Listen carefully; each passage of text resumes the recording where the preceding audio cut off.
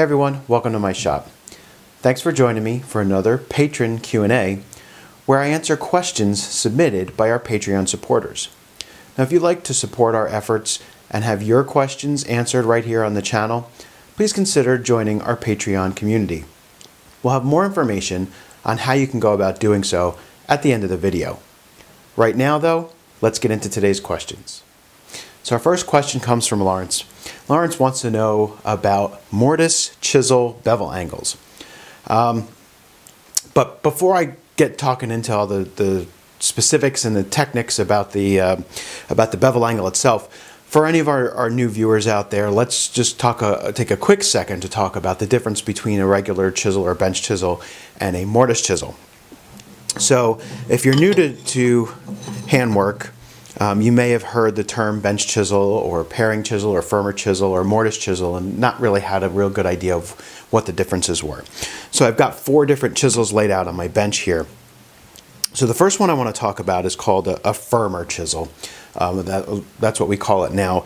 Um, in old books it's been uh, called a former um, and I think that the term comes from an old French term.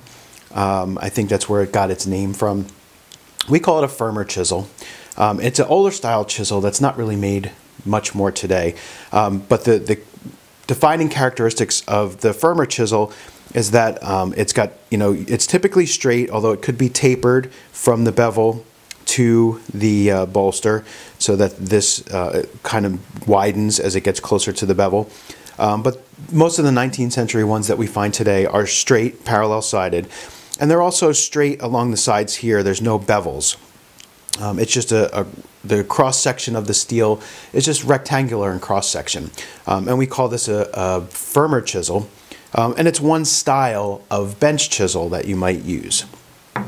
The other style um, is a bevel edge chisel. Um, and you can readily see the difference here in that the bevel edge chisel has its cross section, the corners are kind of knocked off and beveled. And that's to make it easier to get into tight spaces like um, in the area where you might pare the pins of a dovetail.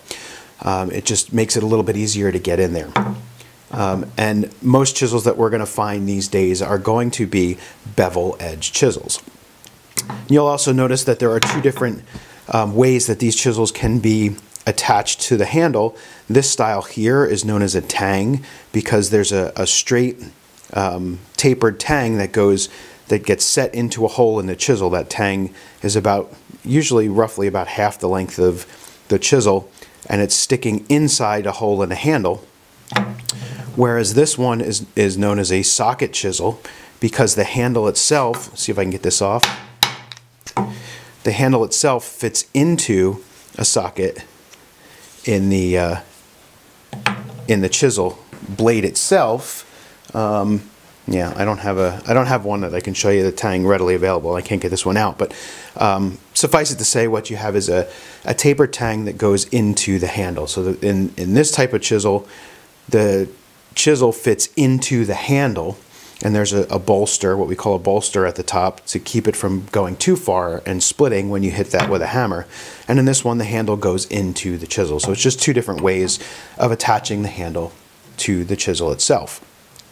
Both of these are known as what we would call bench chisels. They're the chisels that are going to live on your bench and get the most use. Um, the other chisel that's very common in our toolkits is known as a mortise chisel. And you can see the difference here in the cross section of these chisels. Your bench chisels are typically very thin and flat. Um, and that's for the typical work that you're going to do chopping and paring waste. Mortise chisels have a very wide, thick cross section, usually much thicker, much, much deeper in this dimension than they are wide whereas your bench chisels are usually much wider in this dimension than they are thick. And the reason that a mortise chisel is um, so thick in this dimension is twofold. First, as we make um, as we make a mortise, let me see if I can't get one here that we can take a look at.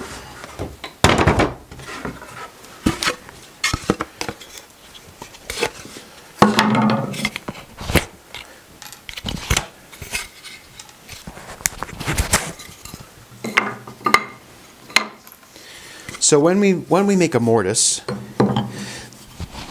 the we're, we're doing a lot of prying.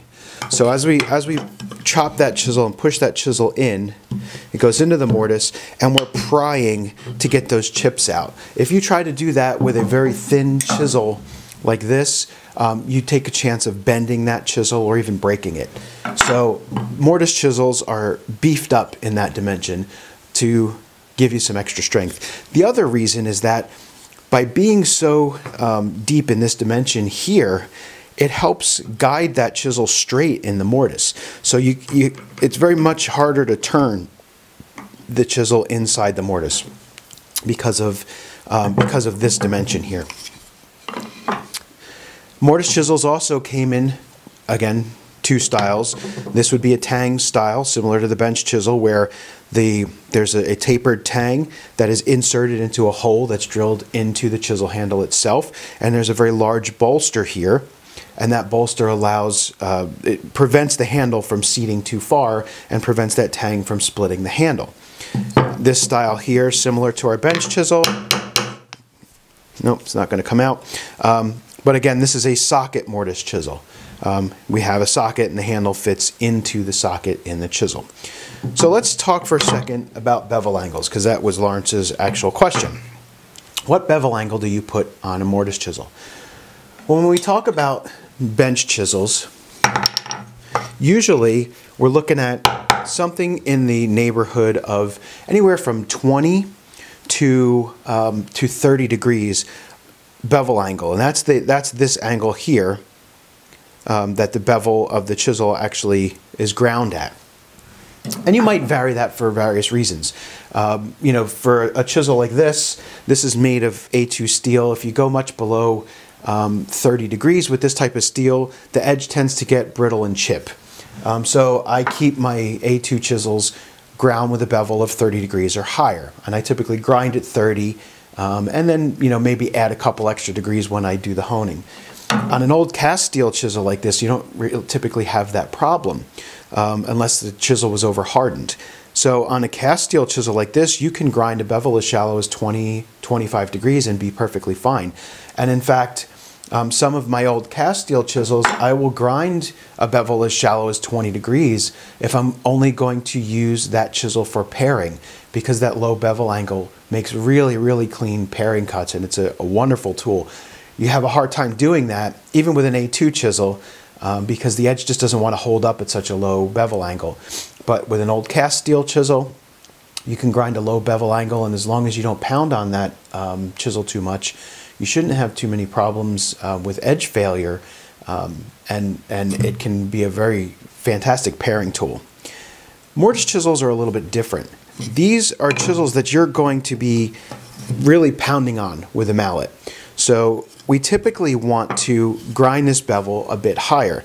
And you'll see, in fact, here, um, this bevel is probably ground at about 35 degrees. I don't, uh, I don't have a protractor handy. Maybe I do.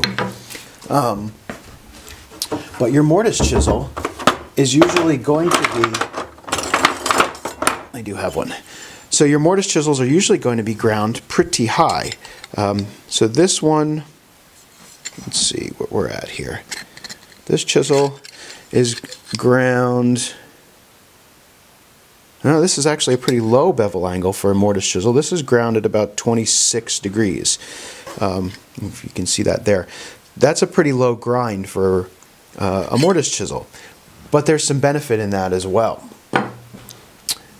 most mortise chisels you're going to find are going to be have bevel angles more along the lines of, uh, of about 35 degrees.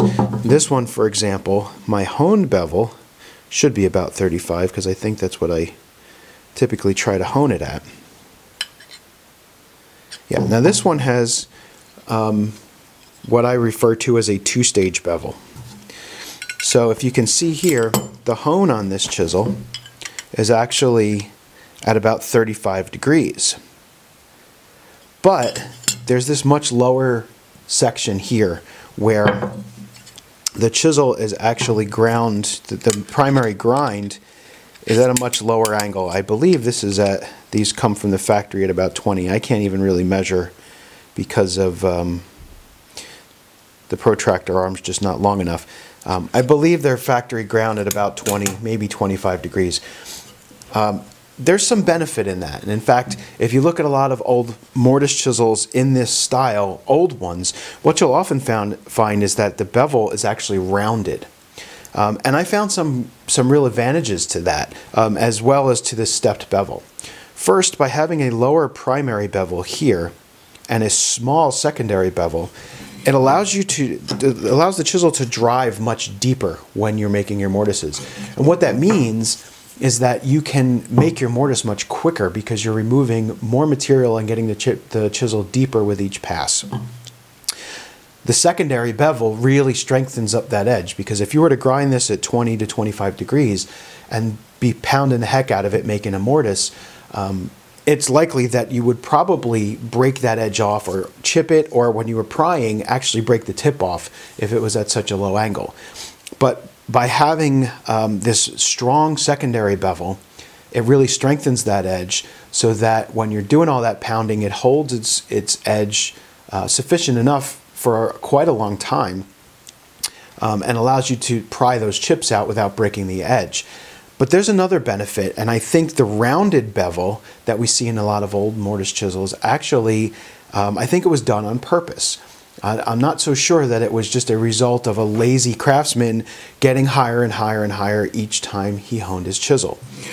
So what happens if you're using a chisel with a flat bevel and you use that chisel to make the mortise and you um, you chop down with the bevel along the end of the mortise and you go to pry the chips out, the upper part of the chisel creates a fulcrum right on the edge of the mortise and it bruises or damages the end of that mortise. However, if you have a bevel that's rounded, when you go to pry, um, pry that chip out, the rounded portion of the bevel is where the fulcrum is, and it creates that fulcrum against the inside end of the mortise, so you get less bruising on top now, in a lot of cases, that bruising isn't a big deal. Um, but if you're if you're making a mortise that doesn't have very large shoulders, um, something you know this has got about a quarter inch shoulder on it, so that's going to hide pretty well down there, and there's going to be a panel here. But what about in a situation where you know you might have a very small area um, and you don't have a very large uh, shoulder? You may want to minimize that bruising there. And I think those are the situations where that rounded bevel really helps. And I also think it gives you a little bit more leverage to pry that chip out um, without putting the leverage up here because the leverage is down on the bevel itself. So that rounded bevel really helps. And I think this secondary bevel, that like what I have on this chisel, um, I think it serves a similar purpose because the fulcrum then becomes the uh, the change where that change in bevel is between the 35 degree bevel and the, this primary bevel here. So, um, so that's how I sharpen my mortise chisels. I like to use a fairly shallow primary bevel, 20 to 25 degrees, and a fairly steep secondary secondary bevel, um, about 35 degrees or, or, or, so. Probably, you know, maybe even a little bit more um, if it's a, a really heavy pounding chisel. You could even go up to 40 degrees. Um, and I think that works the best for me. All right, so our second question came from Hugo. Hugo wanted to, to see a little bit more about the Gramercy saw vise that I've uh, spoken about in previous episodes of the audio podcast. Um, so I do have it here, um, and I will give you a little uh, demonstration of it. I have talked about how it's it is by far the best vise that I have used. There are other options out there. Um, of course, if you can get your hands on an old Acme saw vise, more power to you. That's probably going to be the best saw vise, period. But for um, us mortals, um, this is probably the most readily available, commercially, uh, currently commercially available style of saw vise um, and the best of what is currently available. Um, this is based on an old Wentworth style saw vise. Um, it is based on a, an antique cast iron saw vise um, that function in a very similar style. And antique cast iron saw vices can work and can be made to work well. The problem that I find with most of them is that Um, a lot of times the jaws don't close parallel, so when you close them up, um, what you'll find is that there'll be a small gap in the, in this area here, and the, and the jaws won't close evenly. Um, and it's a problem with a lot of old cast iron saw vices, and it's not something that's easy uh, or sometimes even able to be fixed. Um, you can also make your own wooden saw vise. You can get pretty elaborate. There are a lot of plans out there for them, um, and a lot of those work really well. Um, but this this is my favorite. But before I show this to you, and I don't have it mounted, so I'm not going to be able to actually file a saw and show you anything, but I do want to show you a very simple way to get started in saw filing if you don't want to invest in a dedicated saw sharpening vise. All you need are two sticks of wood. And if you take those two pieces of wood, um, now in this case, because I'm, I'm showing on a, on a back saw, what I would suggest would be to cut um, cut kind of a, an arc in this. So you could kind of do this kind of shape, something like that. Um, it, just in this end of these sticks so that you could slide them over um, over this part of the saw handle. Um, but for this demonstration, I don't think we need to do that. But if you just kind of hold these two sticks on either side of your saw blade, you can clamp this into your bench vise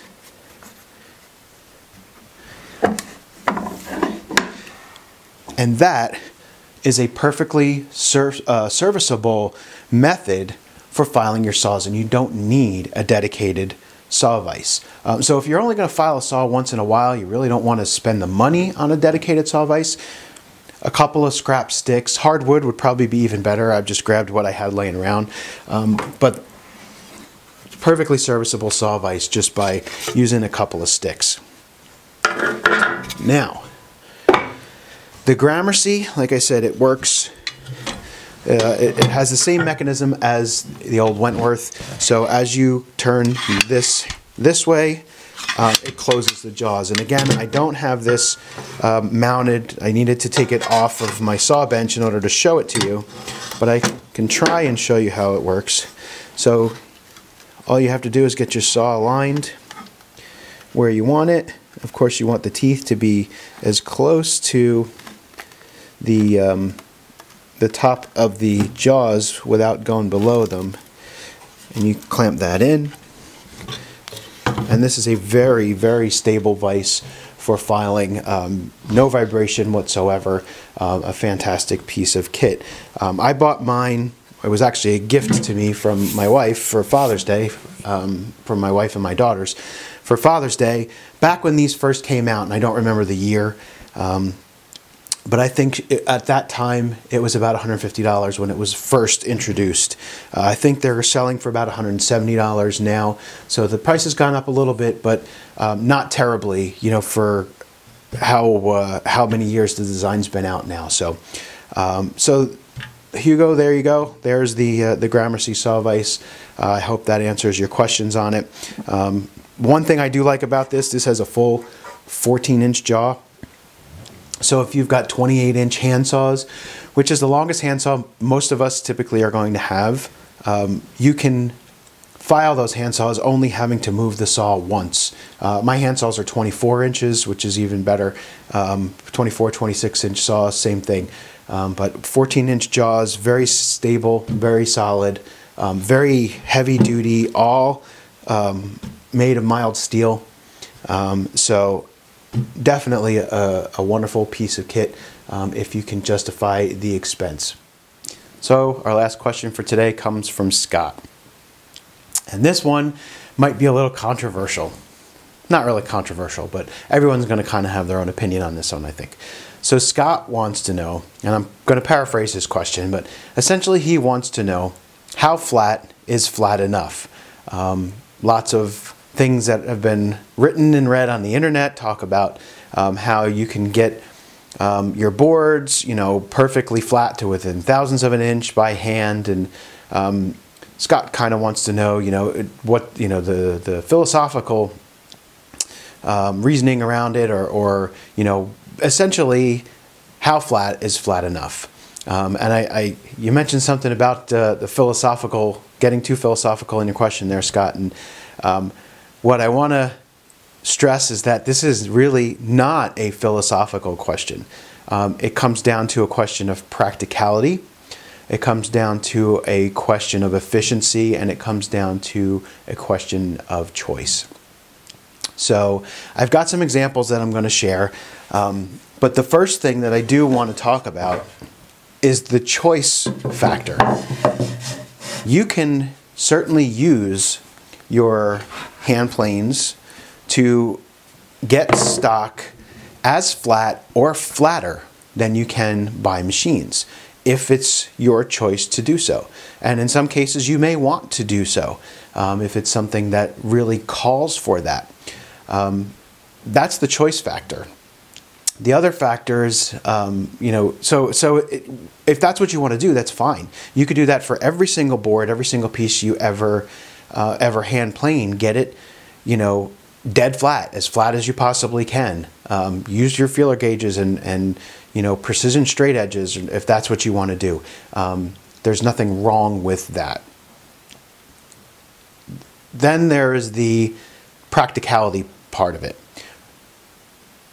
wood moves, it's going to move. You may get it perfectly flat one day and come back to your shop the next day and it's not so flat. Maybe it's got a little cup, maybe it's got a little bow, a little moisture change. Uh, maybe you know the day before it was dry and then a storm blew in overnight.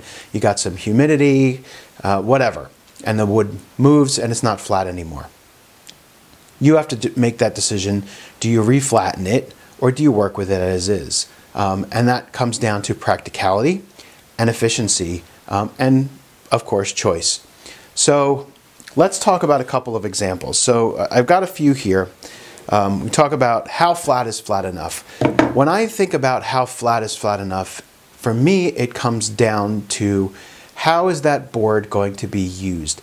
I don't have a single canned answer that I'm going to say every board needs to be this flat, period. Um, I just don't work that way. So I like to think about it more in terms of how flat does this particular board need to be for the situation that I'm going to use it in. Now, in the case of something like a tabletop, you know, we'll use this workbench top as an example.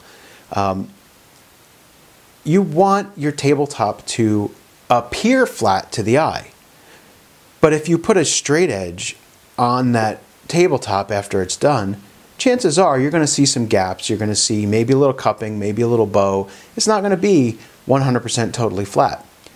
In those cases, I like the tabletop to appear flat when I look like it when I when I look at it. Now, a workbench top, of course, is going to be a little flatter than your typical dining room table um, or end table or what have you. Um, but the principle is still the same.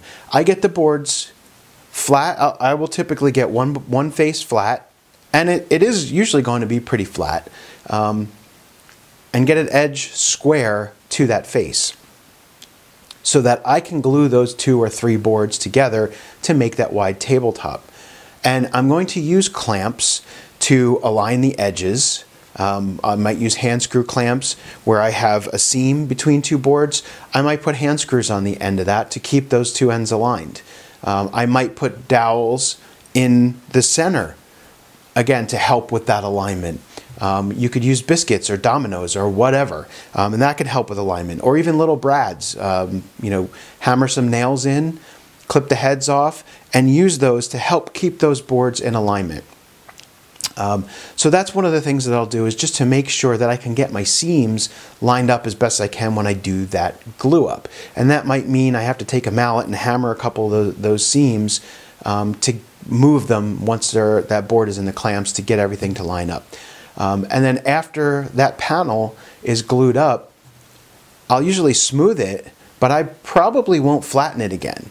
Um, if it gets way out of flat to the point where I'm not going to be able to pull it flat to the table base that I'm putting it on, or if I do pull it flat to that table base and the top itself is strong enough, the cup or the bow is strong enough to pull the legs off the floor, um, then I'm going to need to address that either by ripping those boards apart and reflattening them, um, or using different boards altogether to make a different top.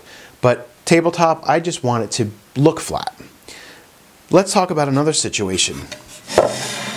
A door panel. Okay, this is this is what I uh, my example door panel. It's like a, a quarter of a door, um, but I use this in a lot of demonstrations and talks that I give. Um, but it's a good visual for this demonstration that we're going to for for what I want to talk about here. Um, if you look at at this, this panel is not flat. There's some some wobble in that, and it's it's got a little bit of cup, so you can probably see there's a, a slight bit of cup in there. Um, and it does not sit flat on the workbench. What is flat are is the frame itself. There's no wobble in the frame. So in this case, what, what's important? Where do I need to focus on flat? I need to make sure my rails and stiles are flat because this is going into a cabinet. It's going to be set in a frame. Okay, when I open this door, I want it to open correctly. I don't want it to bind. And when I close this door, I don't want the door to sit high at this corner and low at the at the top corner. I want the door to close consistency. So it's it's very important that my frame go together flat. And in order for that to happen, my rails and stiles have to be they they can't be cupped and that's not usually an issue with boards this narrow. You can usually plane that cup out pretty easily if there is any. And they need to be straight along their length because you when you assemble when you make your joinery and you assemble that door frame you want that door to sit flat without rocking the panel on the other hand if you can pull that cup out you'll notice in this situation I can press that cup out by hand well when I put this panel into a flat door frame and the frame pulls that cup out of this panel, guess what? Now I have a flat door panel. The panel looks flat. It, it, either maybe it has been pulled perfectly flat by the frame, or it might at least look flat enough in that frame and the door closes properly. As long as the, the assembled door lays flat, you'll be in good shape. And that usually means your panel could probably have a little bit of cup in it and be okay because the frame is going to allow for that movement and it's going to allow for, it's going to pull that cup out of the panel. So in this case, this panel doesn't have to be very flat. Um, I can use the joinery to pull that out. What about dovetails? Uh, here's a, a some half-blind dovetails. Here's some through dovetails that are, that are at a compound angle. Uh, what about dovetails? Well, dovetails are, are an interesting one because the joint can only go together one way, right? We can only pull, and these are these are glued, so I can't pull this apart, but I can only take the tail board out of the pin board. So what does that mean for this joinery? Well, it means that this board here better be pretty darn flat. You can, if this is, has a cup in it, you can probably clamp it out when you clamp up your piece, and maybe the glue will hold it for a while. But if that glue ever fails, that cup is going to come back. On the other hand, on the pin board side, that board is trapped mechanically by the tails. So you could clamp out a cup in your pin board, assemble and glue that joint, and even if the glue fails, the tails are going to hold this pin board flat. So in a case like this, now obviously when you're when you're doing precision joinery, you probably want to get the boards as flat as you can. But in a case like this, you could probably get away with a little cup in your pin board as long as your tail board is flat enough to pull that cup out. Um, bow, on the other hand, so so cup obviously we're talking about across the board this way. Um, bow would be this way along the board. So if you put a straight edge, we, we'll use, uh, well, we'll just use this. So if you put a straight edge along here, if you could see light between that straight edge and the board, that's bow. Crook would be along this direction here. If you could put a straight edge along that direction and see light between the board, that board would be crooked. And twist, obviously, using winding sticks. You've got high corners here. Um, I showed you with that panel before. That panel probably might have had a little twist, might have had a little cup in it. So um, if you're making a drawer, you probably don't want your drawer front or your drawer sides to have any bow in them. Um, if they do, I would suggest you probably want that bow to be towards the inside of the drawer. If it's towards the outside and your, your drawer sides bow outward, that's going to cause binding issues because you'll get the drawer front nice and tight, but then when you pull the drawer out, as you hit that bow, the drawer is going to bind up. So you probably want your drawer sides to be pretty straight. If not, put that bow on the inside of the drawer. Same thing with crook. You're going to want these sides to be pretty parallel and straight. And again, on narrow boards like you're using for drawers, pretty easy to do. So let me show you one more extreme example, or what I think is a, a fairly extreme example. So what I have here is a, a small cupboard that I've been working on on and off for a few months. And this cupboard has a shelf set in a dado. And when you look at this, when this is assembled, this is really beautiful, nice and flat. But if I were to take this apart, and you can see it's actually not that easy to take apart because the, uh, the joinery is nice and tight.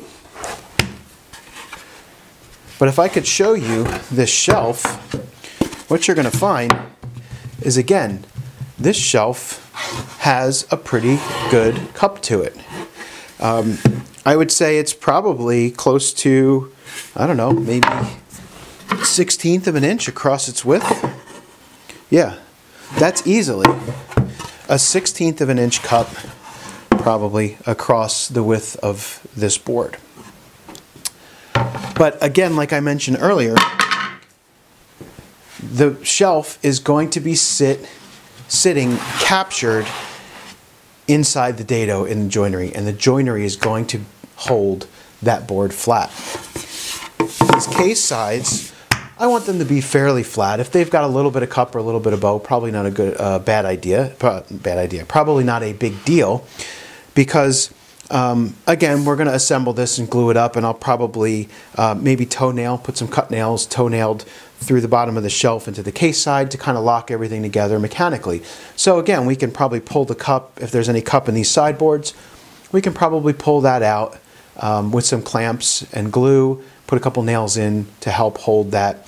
Things will still be able to move, but the joinery, again, is going to hold everything nice and flat. So, um, so that's kind of my thought when it comes to how flat is flat enough. Um, unless I have to have some very precision fit um, drawers, you know, if you if you're going to get into building furniture that has these piston fit drawers.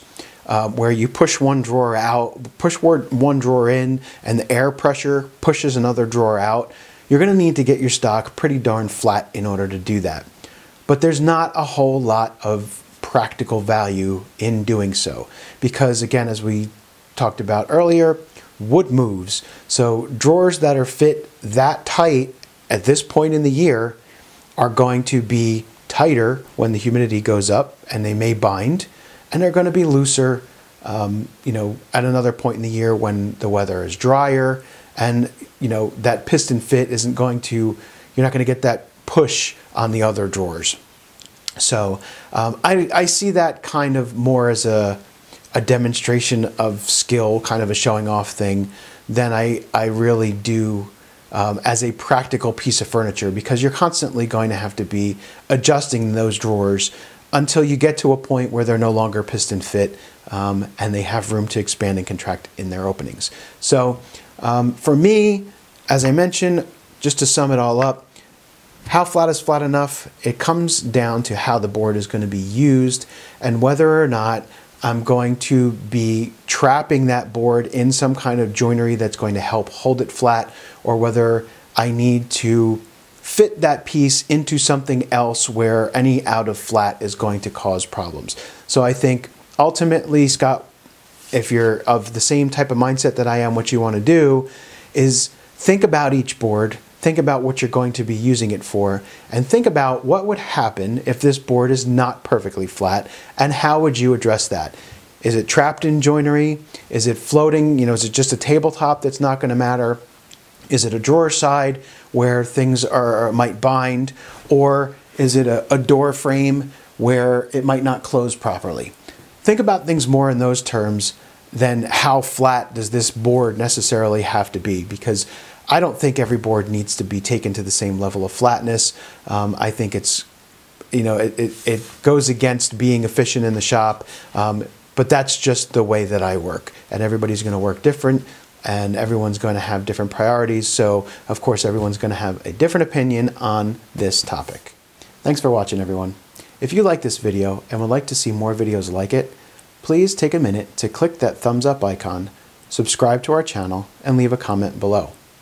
If you'd like to submit your own questions to be answered here in a future video, please consider supporting us on Patreon. Just go to patreon.com slash brfinewoodworking for all the details. Our patrons help us to continue to create quality content like these videos and our bi-weekly audio podcast without subjecting you to annoying sponsorship ads. And as a Patreon supporter, you can submit your own questions to be answered in a future video right here on the channel. So thanks again for watching, and until next time, stay sharp.